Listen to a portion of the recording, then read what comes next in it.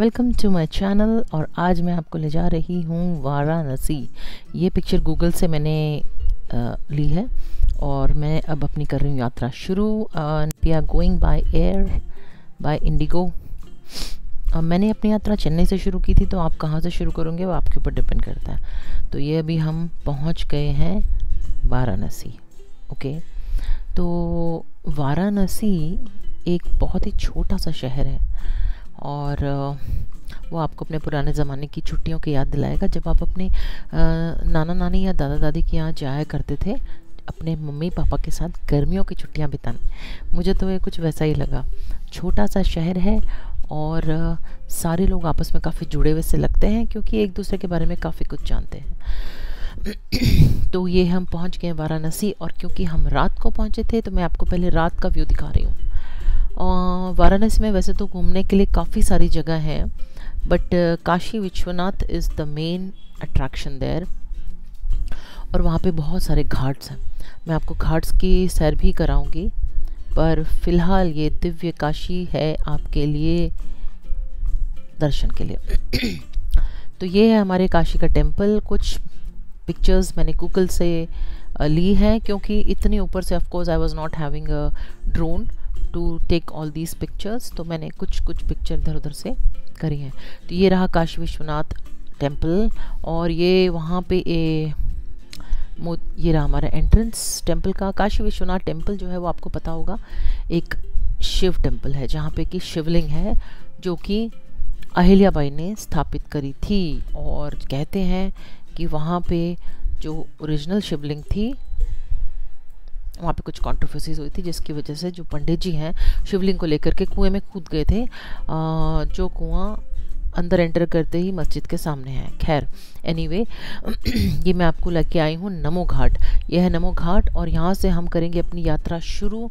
हम जाएँगे फेरी में और उसमें हम पूरे घाट्स की का मुआयना करेंगे। क्योंकि हम यूपी पहुँचे हैं तो हम थोड़ी बहुत हिंदी उसी हिसाब से बोलेंगे। ये हम जो देख रहे हैं, ये एक ब्रिज है। आप देखो, इसमें डबल ब्रिज था। ऊपर गाड़ियाँ जा रही थी और नीचे उसके ट्रेन थी। ये है वहाँ का स्पेशल डिश जो कि सिर्फ़ विंटर्स में मिलता है। इसको बुलाते हैं मलैयू। और ये है वहाँ की ख़ास जगह, जो कि है वाराणसी की साड़ियाँ। ये बना रहे हैं वहाँ की साड़ियाँ वीविंग करके।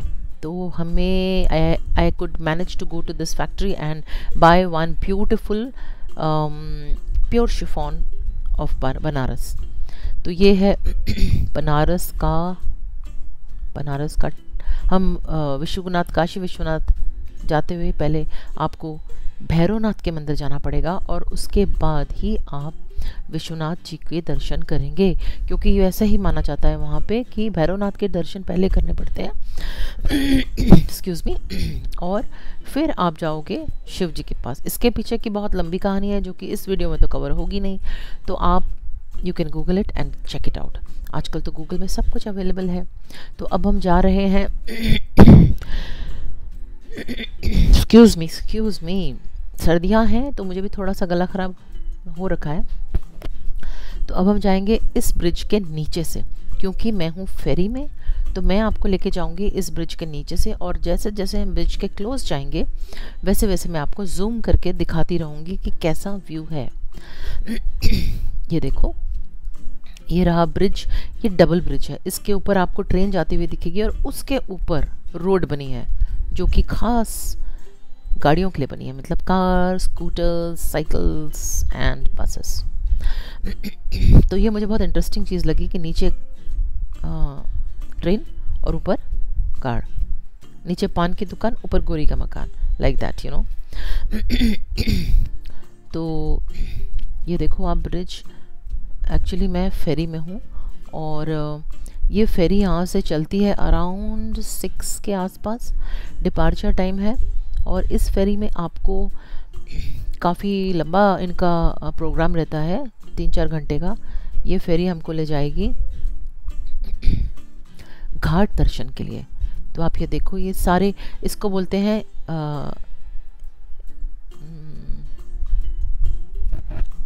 एट्टी वन को हिंदी में क्या बोलते हैं? इक्यासी। वही, इक्यासी।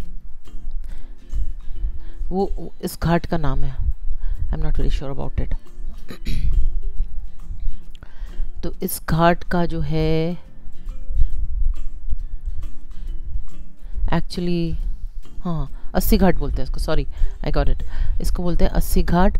अस्सी मतलब एट्टी नहीं अस्सी मतलब वो आ, माता का जो हम्म, क्या बोलते हैं उसको औज़ार था जिसके लिए इन्होंने ये नाम दिया। That is what the guide told us anyways आप पहले लो अस्सी घाट के मज़े। एक्चुअली यहाँ पे एटी फोर घाट हैं।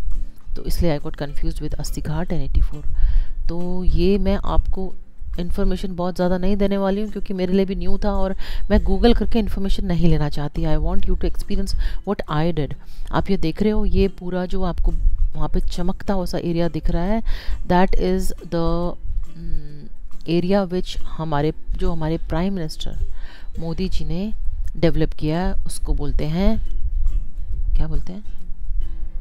कॉरिडोर ओके सो ये यहाँ से इतना सुंदर लग रहा था कि आई जस्ट गॉट लॉस्ट और मैंने यहाँ की बहुत सारी वीडियोस बनाई, बहुत सारी फ़ोटोज़ क्लिक करी। It was really really very mesmerising जैसे जैसे हम आगे बढ़ते गए, वैसे वैसे आगे हमें और डिफरेंट व्यूज़ दिखते रहे। आप देख रहे हो, थोड़ी सी यहाँ पे हमारे फेरी के साथ कुछ हाउस बोट्स भी हैं। तो ये चलते चलते हम वहाँ पहुँचे जहाँ पे कि लाइव आरती हो रही थी के घाट की आरती, मंदिर की आरती नहीं। और आरती के अलावा उसके साइड बाय साइड वहाँ पे कुछ विसर्जन भी हो रहे थे। उनके जो कि इस दुनिया से चले गए हैं। लोग यहाँ पे अंतिम क्षण में वाराणसी आते हैं ताकि ऐसा कहा जाता है, जिसकी मृत्यु वाराणसी में होती है, उसे मोक्ष मिलता है, मोक्ष प्रदान होता है।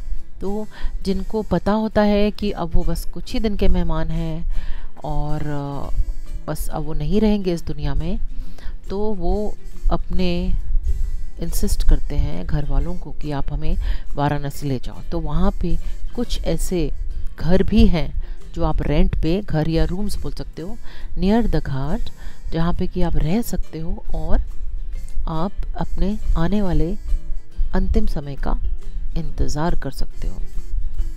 उसके बाद उनका विसर्जन यही होता है।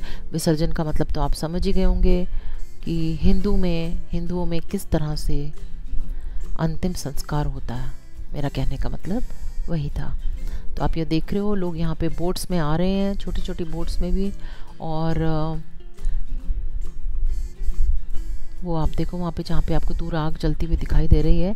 आप पॉज करके देखो, वो है वहाँ पे जहाँ पे लोगों को अंतिम संस्कार किए जा रहे हैं। और इस तरफ़ आरती हो रही है। तो ये दो चीज़ें एक साथ होती हुई, देखना बहुत ही अद्भुत था। और बिलीव मी एक बार भी ये फील नहीं आई कि, ओह, यहाँ पे तो लोगों को जलाया जा रहा है, यहाँ पे अंतिम संस्कार किया जा रहा है। बस ये एक लाइफ एंड डेथ दो चीज़ें एक साथ जब आप देख रहे थे तो उस समय आपके अंदर कोई ऐसी फीलिंग नहीं आ रही थी। इनफैक्ट बहुत पॉजिटिव फीलिंग आ रही थी। I I witnessed this for the first time मैंने ऐसा कभी नहीं देखा। मगर मुझे बहुत अंदर से एक सुकून सा मिल रहा था। आफ्टर ऑल सबने एक दिन मिट्टी हो जाना है, मगर जितना भी आप जियोगे, लोगों की भलाई और अच्छे काम में जियो राइट सो क्योंकि ये भगवान से रिलेटेड वीडियो है our Indian gods and our religious places तो इसलिए मैं इस तरह की बातें करने में मजबूर हो गई हूँ। एनीवेज um, तो ये देखो आप कितने घाट्स हैं यहाँ पे। इन घाट्स के आनंद लेते हुए मैं भूल ही गई कि बहुत ठंड हो रही थी। It was chilling out there ऊपर से ओस पड़ रही थी। और uh, सर हमने काफ़ी कवर करे हुए थे। हम लोगों ने ये देखो आप आरती हमने सर कर कवर कर रखे थे और पूरा अपने आप को coat and jackets and everything वो करके हमने कवर किया हुआ था। ये जितने भी घाट्स आपको दिख रहे हैं this is only for enjoying the beauty nothing else अंदर वहाँ तक जाके रहना, वो सब तो हमने नहीं किया, मगर जो हमें गाइड बता रहा था, वो यही बता रहा था कि ये कई साल पहले के बनाए हुए घाट्स हैं।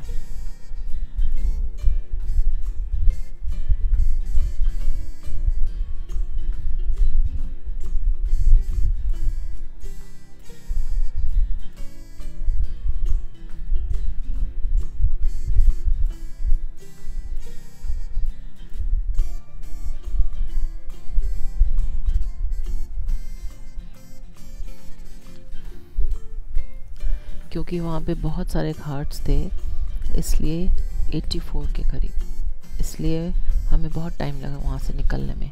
करीब तीन चार घंटे लगे। वहाँ पे ये फेरी टूर जो है, ये already it is for tourist only आप जाएँगे तो आपको वहाँ पे ये ब्यूटीफुल सा टूर करने को मिलेगा, क्योंकि ये सब कुछ प्लान्ड होता है। लोग वहाँ से दिए पानी में छोड़ रहे थे, क्योंकि ये गंगा है। तो गंगा में पानी दिए दिए छोड़ते और बहुत साफ़ थी गंगा। तो लोगों का वहाँ पे गंगा के साक्षात दर्शन और साक्षात गंगा जी के ऊपर फेरी में ट्रैवल करना it was a beautiful experience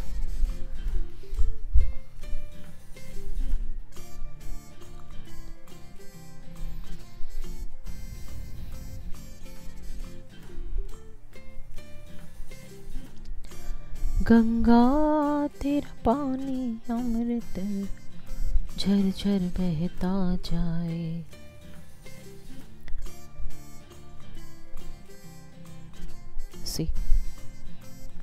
This is beauty of Varanasi और ये अब आगे हम डे टाइम में ये कुछ पुराने ज़माने के बनाए हुए महल काइंड ऑफ़ पैलेस छोटे छोटे पैलेस वही हमारा ड्राइवर हमें बता रहा था जो वहाँ का लोकल था। तो अभी ऐसे अबंडन पड़े और ये पहुँच गए हैं हम हनुमान जी के टेंपल जिसे आप कहते हैं संकट मोचन। ये वहाँ का काफ़ी पावरफुल टेंपल है। तो हम यहाँ भी गए और हमने यहाँ भी दर्शन किए और फिर हम निकले वहाँ की खास कचौड़ी और आलू की सब्ज़ी खाने को। वो थी चाची की दुकान पे। ये चाची की दुकान इतनी फ़ेमस है, मगर है बहुत छोटी सी। ये देखो आप। तो यहाँ पे हमने खाए कचौड़ी, आलू की सब्ज़ी और जलेबी गर्मा गर्म। ये देखो, ये बना रहे थे वहाँ पे। है छोटी सी, चाची अब नहीं रही, मगर उनकी दुकान बहुत फ़ेमस है। उसके बाद हम चले हैं अब सारनाथ टेंपल सारनाथ टेंपल ये आपको मैं वाराणसी दिखाते हुए ले जा रही हूँ। ये वाराणसी का रेलवे स्टेशन वाराणसी की आ, मार्केट और और ये पूरा वाराणसी का एरिया जो पूरा हमने कवर अप किया with by road Kashi Vishwanath से सारनाथ टेंपल थोड़ा सा बाहर है it is on the outskirts तो जब आप वहाँ जाएँगे तो आपको फिर एयरपोर्ट जाने के लिए अंदर एंटर नहीं करना पड़ेगा सिटी ठीक है? बुद्धम शरणम गच्छामी। ये आ गए हम Sarnath temple Sarnath temple is basically of Buddhism लेकिन वो it is a worth going to this place क्योंकि यहाँ पे आर्कियोलॉजी लोग आर्कियोलॉजिस्ट ने खुदाई करके और गौतम बुद्ध के ज़माने के जो नीचे बिल्टअप एरिया था, वो निकाला है, जिससे कि पता चला है कि कहाँ कहाँ पे वो लोग कैसे बैठ के मेडिटेशन और हाँ मेडिटेशन करते थे। बेसिकली वो लोग मेडिटेशन ही किया करते थे। तो all that I have covered in this video आपको सिर्फ़ देखना है और उसके बारे में मैं कुछ बोलने वाली नहीं हूँ, क्योंकि बहुत कुछ है। इतना it is not possible to say in this small video तो आप उसको नेट से चेक कर सकते हैं। ओके तो ये सारनाथ मंदिर जाते वक्त मैंने रास्ते में काफ़ी सारे ब्यूटीफुल व्यूज़ के मैंने रिकॉर्डिंग करी है। सो दैट आपको ये फील आए कि आप वाराणसी पहुँच गए। और वहाँ पे मैंने खाया था बनारसी पान भी but I could not click the picture क्योंकि I was so excited to see the paan कि मैंने फटाफट मुँह में डाला और किया ख़त्म। Okay okay?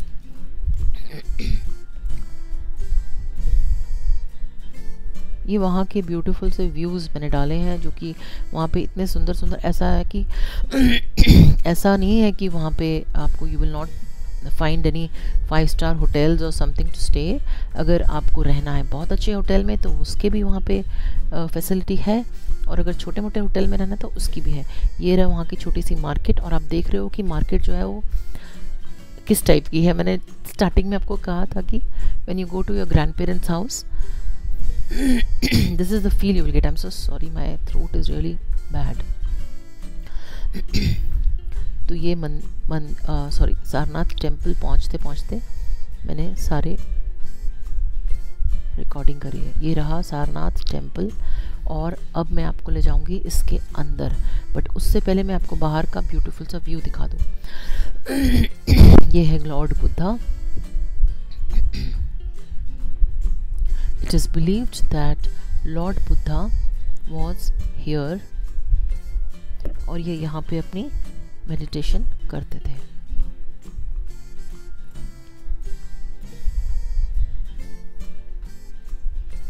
ज़्यादातर मैंने यहाँ पे तिब्बतन लोग देखे और Nepali type and but it's okay जो बिलीव करते हैं लॉर्ड बुद्धा में डेफिनेटली वो ही आएँगे। अगर as it is a tourist place तो बाकी लोग भी थे यहाँ पे। ये है अंदर का view and you can not take pictures inside you have to take permission so luckily मैंने परमिशन ली और मैं ये अंदर आपको ये वॉल की पिक्चर्स साइड वॉल्स और अंदर की अप मतलब जो रूफ़ की रूफ टॉप की मतलब बता रही हूँ। फ़ोटोज़ में whatever I could click ये है। वहाँ पे काफ़ी कुछ इसकी कहानी बताती है। मगर ये बेसिक मेरा एम था वाराणसी का लेना तो काशी विश्वनाथ को तो इसलिए मैंने ये I could not show you much तो ये बाहर जो आपको ये दिख रहा है, ये रियल नहीं है. दिस इज़ ऑल मेड ये पूरे स्टैचूज़ हैं आइडल्स जो बने हैं. और ये है वहाँ का, जैसे हमारे मंदिर, हिंदू टेम्पल्स में बेल्स होती हैं, उनका ये होता है. इसको ये लोग घुमाते हैं and they pray with this तो ये था हमारा सारनाथ टेंपल अब हम यहाँ से निकल के हम जाएँगे उस एरिया में जहाँ पे कि Lord Buddha and his followers use to sit and meditate okay तो ये एरिया है, वो है जहाँ पे कि आर्कियोलॉजिस्ट ने नीचे से पूरा खोद के निकाल के ये डिक्लेयर किया है that this is the area where Lord Buddha use to sit तो चलो हम चले। आ, ये आपको बाहर से जो दिख रहा है ये वो जगह है।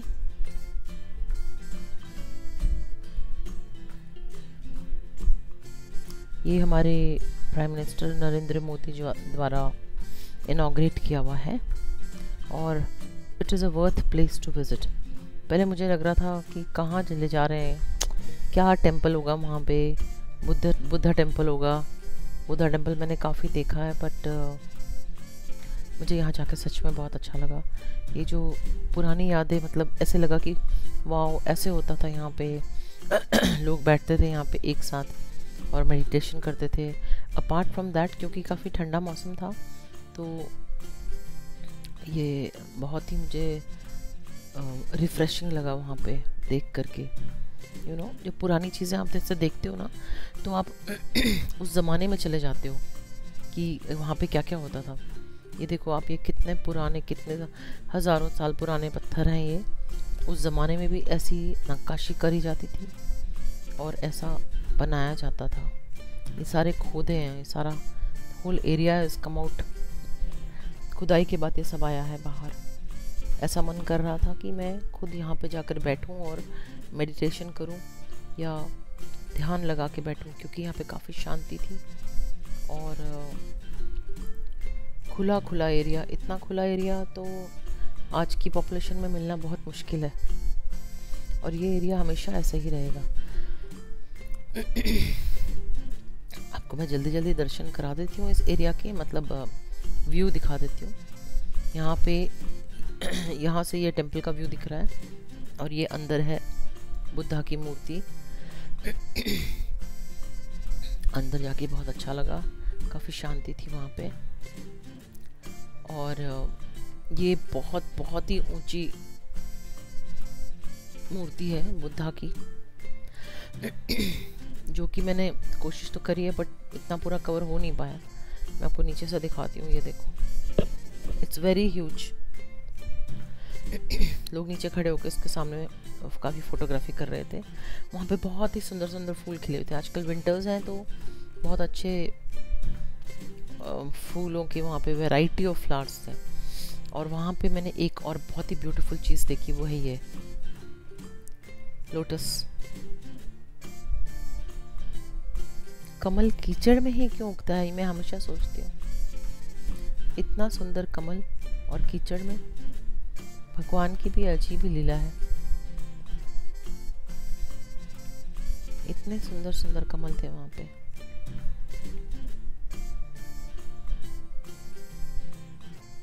कुछ खिले हुए और कुछ खिलने के लिए तैयार।